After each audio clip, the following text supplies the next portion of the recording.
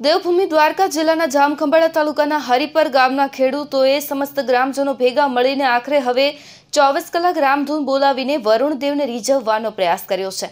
વરસાદ જાણે હાથ તાળી આપીને ચાલ્યો ગયો હોય ત્યારે ખેડૂતોની મહેનત પર આખરે પાણી ફરી વળ્યા છે, જેથી કરીને હરિપર ગામના ખેડૂત લોકોએ રામધૂન બોલાવી છે. દેવભૂમિ દ્વારકા જિલ્લાના મુખ્ય મથક નજીક આવેલા હરિપર ગામે રહેતા સ્થાનિકો અને ખેડૂતો દ્વારા વરુણ દેવને રીઝવવાનો પ્રયાસ કરવામાં આવી રહ્યો છે. એક તરફ દેવભૂમિ દ્વારકા જિલ્લામાં વરસાદ ખેંચાયો હોય જેથી રવિ પાક નિષ્ફળ જવાની ભીતિને લઈને ખેડૂતોની ચિંતામાં વધારો થયો છે. ત્યારે હવે ખેડૂતોને તેની મહેનત પર પાણી ન ફરી વળે તે માટે ચોવીસ કલાકની રામધૂન બોલાવી.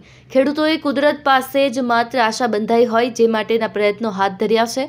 આ વર્ષે ખેડૂતો પર જાણે કુદરત રૂઠ્યો હોય તે પ્રકારની સ્થિતિ સર્જાય છે.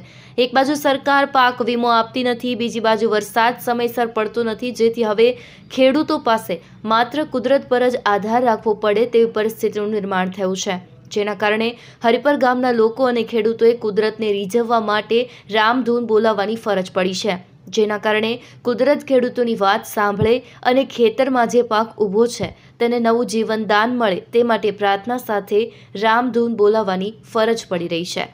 અમે જે આ વખતે ગુજરાતની અંદર, સમગ્ર ગુજરાતની અંદર એને ખાસ કરીને દેવભૂમિ દ્વારકા જિલ્લાની અંદર વરસાદ બહુ ખેંચાણો છે. આ વખતે અમે મોટાભાગે મોટા ભાગે મગફળીનું વાવેતર કરેલું છે.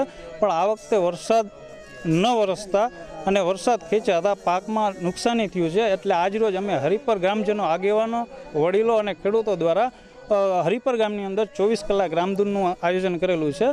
જેથી કરીને વરુણદેવ રીઝવે અને જો વરસાદ પડે તો રવિ પાક તો ફેલ ગયો છે, પણ અમને શિયાળુ પાક- પાકમાં સારો વરસાદ થાય તો સારું વળતર મળે અને ગ્રામજનોને પાણીની સમસ્યા જે પાણીનો પ્રશ્ન છે એ હલ થાય. Darshan Modi GTV news, Jamkhambhaliya.